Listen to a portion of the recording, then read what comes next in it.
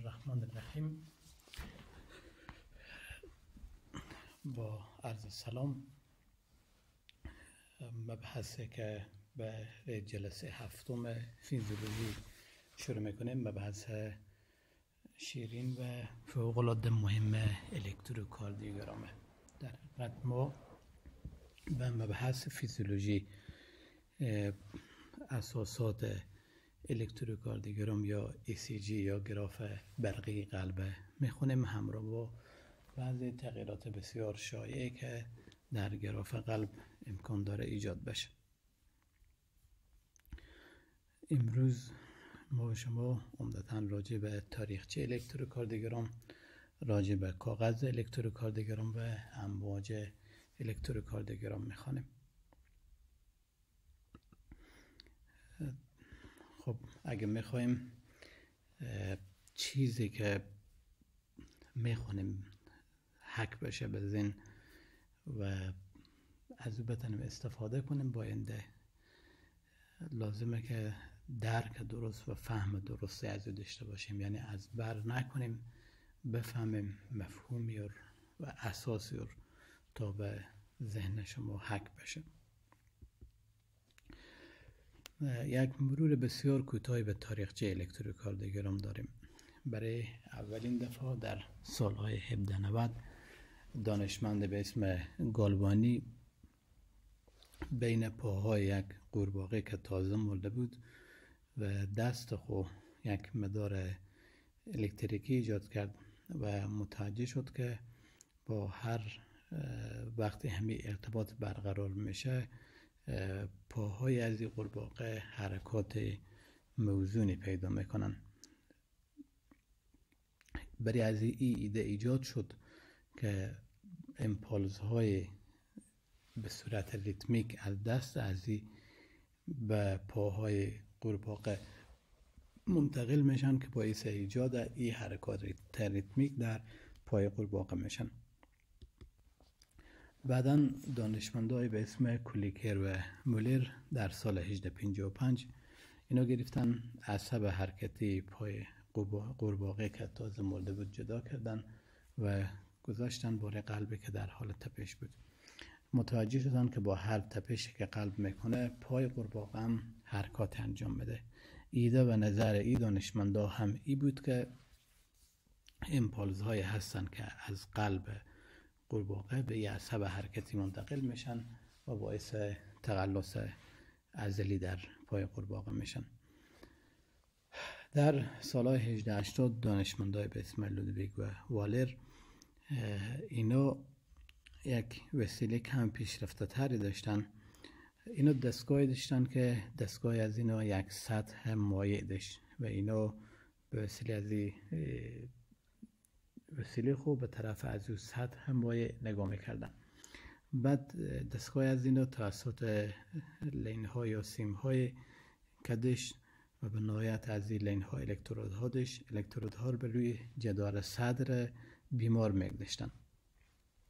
اینا متوجه می شدن که وقتی الکترود ها به روی جدار صدر بیمار یا شخص می‌گذارن سطح مایع حرکات پیدا می‌کنه. و ایده اینا هم ای بود که امپالز های هست که از جدار صدر از این شخص انتقال پیدا می‌کنه توسط از این لین ها و باعث بالا و پین رفتن سطح مایع میشه در دستگاه از اینا. قدم اساسی و عمدر در ای دانشمند به اسم انتوین وردشت که انتوین به اسم پدر علم ای سی جی می‌شناسن. انتوین گرفت بین دو دست شخص و سیم بسیار ظریفی که از دو قطب یک آن روا عبور کرده بود یک مدار برقرار کرده یک مدار برقی. و این متوجه شد که وقتی همین مدار برقرار میشه سیم حرکات ظریفی پیدا می‌کنه. در حقیقت ایده از هم ای بود که با حرکات قلب با فعالیت قلبی امپولس های به سطح بدن منتشر میشن و به این سیم باریک منتقل میشه و این سیم باریک برکت میاره مشکلی که این دانشمند انتخاب داشتی بود که نمی‌تونست همی بالا و پایین رفتن سیم ثبت کنه. بعد از سالها تفکر انتوین کم کار خور پیشرفته تر کرد و تنیس که همین ثبت انجام ده. این تصویر به ذهن داشته باشین تصویر بعدی ببینیم با این مقایسه کنین. اینجا می‌بینیم که چیزی که اضافه کرده انتوین ای بوده که یک منبع نور اضافه کرده که میتابونده به طرف همین سیم ظریف. و کاغذ داشته که این کاغذ از این سایه سیم بالی این افتاده همو سایر ثبت می‌کرده. به این ترتیب انتوین موفق به این شد که اولین ثبت در جی انجام بده. و این متوجه شد که وقت ثبت انجام میشه بالا و پایین رفتن ها به صورت ریتمیک و به صورت منظم اتفاق میفته یعنی به این ترتیب یک بالا میره که ما بالا رفتن و یا مثلا پایین آمدن موج میگیم بالا میره باز یک قطع خط ایجاد میشه باز بالا میره پایین میاد به همین ترتیب یه امواج تکرار میشه و آینتهوون ایر نامید امواج ECG به این ترتیب آینتهوون متوجه شد که ابتدا بالا میره به شکل یک موج باز یک قطع خط ایجاد میشه. بعدا پایین میایه بالا میره. خب باز پایین میایه. دوباره باید یک قطع خط تشکیل میده و باز بالا میره. جی انتوون نامگذاری به این ترتیب شروع کرد. از این قسمت ایر موج پی نامید. ایر نامید Q. ایر نامید R و موج بعدی از ایر نامید S و بعدی ایر نامید T. ای که میگن چرا نامگذاری از حرف P شروع کرده گفته شده که ریاضیدان ها خطوط منحنیر از حرف P شروع می‌کنن. و این چون امواج شکل منحنیر داشته ای هم از همون قانون ریاضیدان ها تبعیت کرده و با حرف P شروع کرده. دیگه دلیل خاص P Q R S T نداره و مخفف چیزی هم نیه. اینجا ایر میگن comple سه موجی که داریم Q R و S این میگن complex Q R S که می‌تونه این سه موج به هم دگر باشه یکی باشه یا دو تا از اینا باشه که به درسای بعدی ایشالا خود شما می‌خونیم. و این توین متوجه شد که همی الگوی T به همی ترتیب ادامه پیدا می‌کنه. یعنی بعد از اینکه T ختم شد باز دوباره پس P میشه. باز complex R S میشه و باز پس دوباره یک موج T تشکیل میشه و همین حالت ادامه پیدا می‌کنه. ما سه اصطلاح شبیه به هم داریم الکتروکاردیوگراف الکتروکاردیوگرافی و الکتروکاردیوگرام. الکتروکاردیوگراف همین دستگاهیه که ما استفاده می‌کنیم برای ثبت ECG الکتروکاردیوگرافی عملیه که اجرا میشه تا گراف برقی قلب ثبت بشه و الکتروکاردیوگرام هم کاغذیه که به روی ازی همی فعالیت برقی قلب به شکل امواج ثبت شده. الکتروکاردیوگراف الکتروکاردیوگرافی و الکتروکاردیوگرام. کاغذی که برای ECG استفاده میشه کاغذ مخصوصیه. خب ما میگیم قبل از اینکه کاغذ ECG بگیم میگیم که وقتی قلب فعالیت می‌کنه امواج برقی تولید میشه. این امواج برقی به انساج احاطه کننده قلب منتشر میشن و قسمت از اینا به سطح بدن میه وقتی ما الکترودها رو به سطح بدن به دو طرف قلب بگذاریم می‌تونیم همی پوتنشیل هایی که در اثر فعالیت برقی فعالیت قلبی ایجاد میشن اینا رو ثبت کنیم.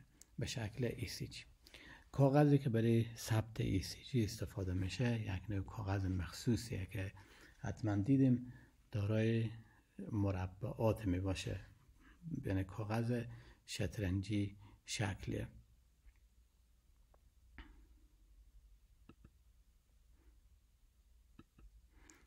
ترتیب مربعات داره. مربعات خورده و مربعات کلونه خب این میگن یک مربع خورد و این مجموعان میگن یک مربع کلان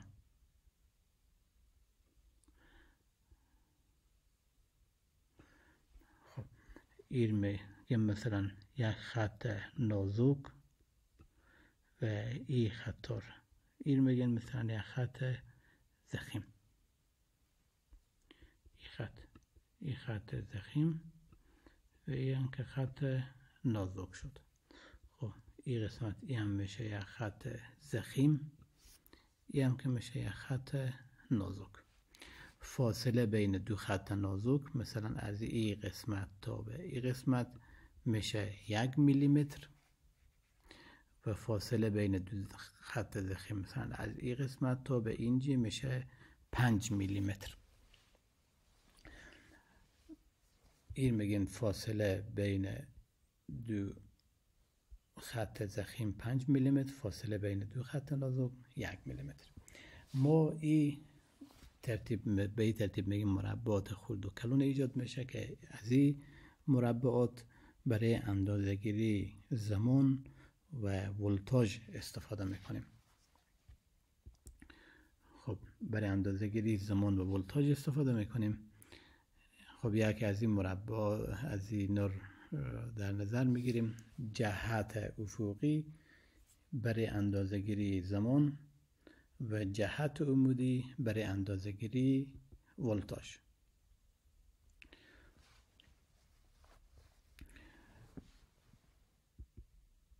یکی از این مربعات کلون در نظر می‌گیریم. هر مربع کلون پنج تا مربع خود داره. ما مساحت این به کار نداریم که بگیم پنج ضرب پنج بیست پنج. بلکه به همین جهت مثلا از این از این جهت در نظر بگیریم به این ترتیب از اینجا تا به اینجا پنج تا مربع خود وجود داره. و یا از این قسمت تا به این قسمت پنج تا مربع خود وجود داره. هر مربع کلون یا فاصله بین دو خط زخیم پنج تا مربع خود ما گفتیم جهت افقی. این جهت برای اندازه گیری زمان استفاده می‌کنیم. پس میگیم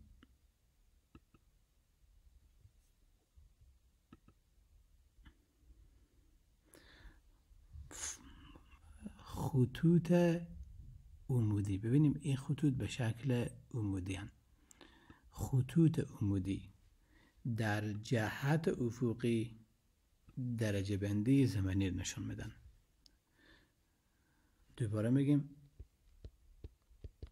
خطوط عمودی در جهت افقی درجه بندی زمانی نشان میدن و فاصله بین دو خط عمود دو خط عمودی نازک چهار صدوم ثانیه.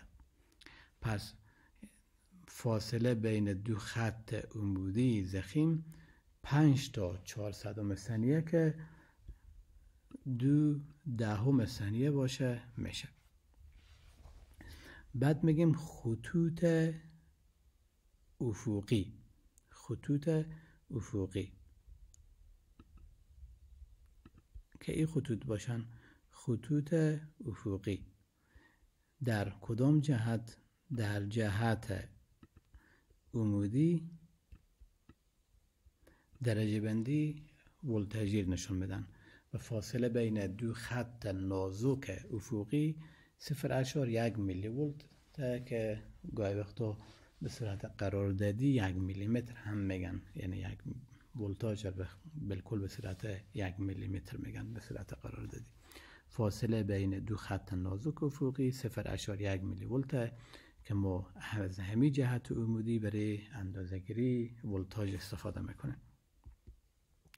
و فاصله بین دو خط زخیم عمودی دو دهم ثانیه میشه یا 0.2 ثانیه میشه. و فاصله بین دو خط زخیم افقی 0.5 میلی ولت یا 5 میلی متر میشه. خب اینجی به جهت افقی 5 تا مربع کلون دارین که 5 تا مربع کلون 5 تا 0.2 ثانیه میشه که مجموعا میشه یک ثانیه. و به جهت عمودی دو تا خط زخیم افقی فاصله بین از اینا که دو تا مربع کلون شامل میشه دو تا صفر اشار پنج میلی ولت که میشه یک میلی ولت.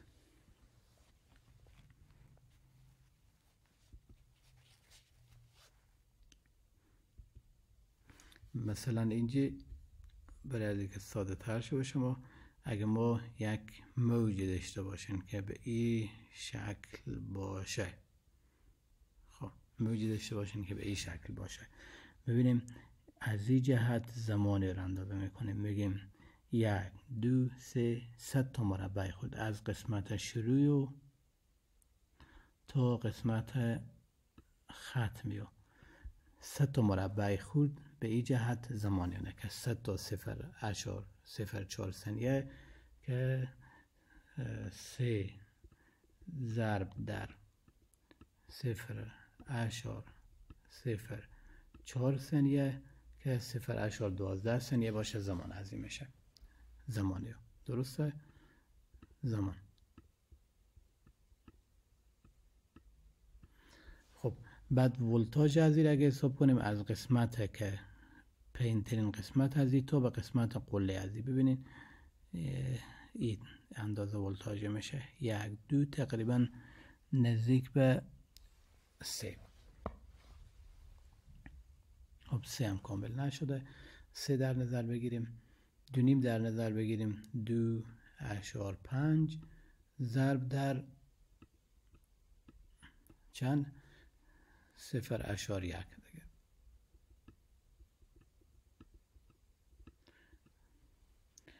دو در دو نیم ضرب در صفر اشار یک. یا صفر اشار بیست پنج میلی ولت که ما می‌تونیم بگیم دو نیم میلی متر هم ولتاژ از این یعنی به صورت قرار دادی به جای میلی ولت می‌تونیم بگیم دو نیم خونه خود مربع کوچک دو نیم میلی ولت هم ولتاژ از این به ترتیب از جهت افقی برای اندازه گیری زمان و از جهت عمودی برای اندازه گیری ولتاژ استفاده می‌کنیم. اگر یک موج به این اندازه بالا رفته باشه بگیم 5 میلی متر ولتاژ از اینه و دو میلی دو صفر اشار صفر هشت ثانیه هم زمان هزینه. خب. یک میلیمتر فاصله بین دو خط نازک فاصله بین دو خط زخیم پنج میلیمتر خب دو تا مربع کلون به اینجا از نظر زمینی یک میلی ولت وقت می‌گیره. یک مربع کلون وقتی ما برای اندازه گیری زمان استفاده می‌کنیم یک مربع کلون صفر اشار دو ثانیه میشه. پنج تا مربع کلون که به کنار هم دیگر باشن پنج تا صفر اشار دو ثانیه یک ثانیه زمان می‌گیره. که این توضیحات به پین سلاید نوشته شده. خب بعدی از اجزای یک الکتروکاردیوگرام نرمال میایم به موجه ها موجه های ECG